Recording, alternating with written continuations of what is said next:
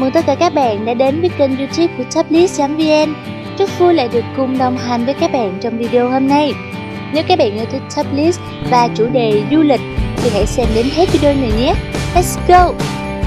Cô Tô đang dần thay da đổi thịt, chuyển mình theo hướng công nghiệp hóa, hiện đại hóa, trở thành một trong những huyện đảo có tiềm năng du lịch lớn của Quảng Ninh trong những năm gần đây.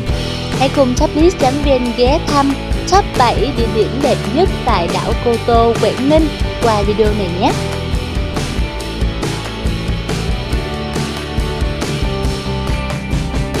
Thứ nhất, trạm Hải Đăng Cô Tô Đầu tiên phải kể đến là trạm Hải Đăng Cô Tô được xây dựng vào thế kỷ 19, trạm Hải Đăng là một trong số 30 con mắt biển đêm của vùng lãnh hải Việt Nam. Nhờ có trạm Hải Đăng này, mọi tàu thuyền hoạt động trên biển có thể di chuyển an toàn về nơi đậu thuyền mà không bị mất phương hướng. Từ đây, bạn có thể thoải mái thu vào tầm mắt, ngắm nhìn toàn cảnh đảo Cô Tô, từ thị trấn biển đẹp như mơ đến những rừng cây xanh mướt, êm đềm những mái nhà, khiêm nhường và giản dị. Thứ hai, bãi đá cầu Mị Đến với Cô Tô, bạn không thể nào bỏ qua được bãi đá cầu Mị đẹp lung linh với những lớp đá trầm tích được bào mòn qua hàng vạn năm. Khi hoàng hôn buông xuống, ánh nắng mặt trời chiếu qua từng phiến đá là thời điểm tốt nhất để bạn có thể ghi trọn những khoảnh khắc đẹp trong đời.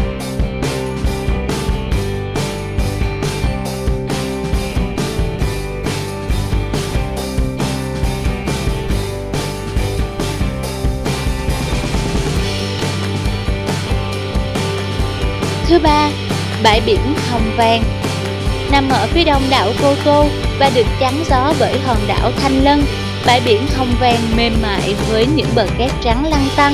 Khung cảnh nơi đây vô cùng yên tĩnh, cảm giác chỉ còn bạn hòa với biển thôi. Còn gì tuyệt vời hơn khi cùng những người mình yêu thương tâm sự dưới túp lều lá, lắng nghe những âm thanh từ biển thổi vào.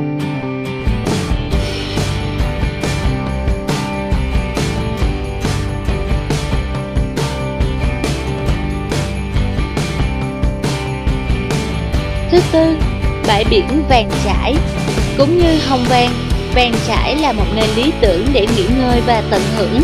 Nơi đây mang vẻ gì đó ấm cúng mà gần gũi.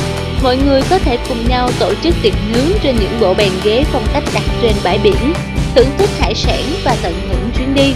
Dưới bàn tay nhân tạo của con người, nơi đây không hề mất đi vẻ đẹp hoang sơ vốn có của nó, mà mặt khác, nó còn trở nên lung linh hơn bất kỳ bãi biển nào khác.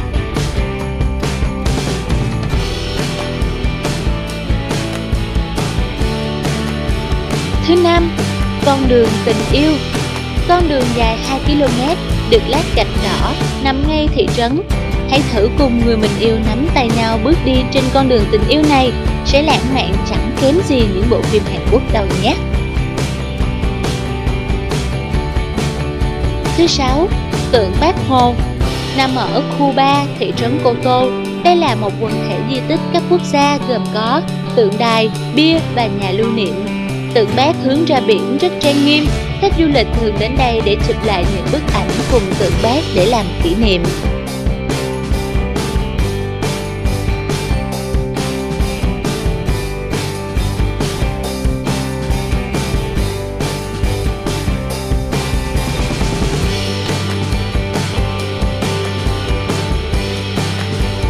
Và thứ bảy, Cô Tô Con.